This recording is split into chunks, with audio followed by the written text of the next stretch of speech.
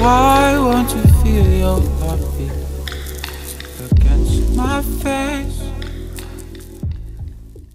So that is the end of that little outfit of the day video. I know it was different, um, not like your normal outfit of the day video, but I was like really inspired by this artist. I don't know how to say their name, so I'm not even going to attempt it.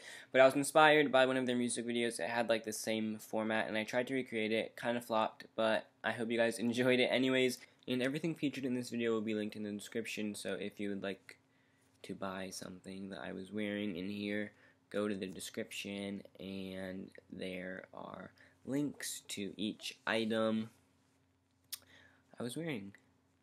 I sound like Marina Joyce right now. But okay, um, yeah, so go buy whatever you want. And yeah, I wasn't planning on uploading this, but I did because I want you guys to know that I'm here, I'm alive, I'm good, and I want to keep the channel going and stop taking so many breaks in between every time that I upload.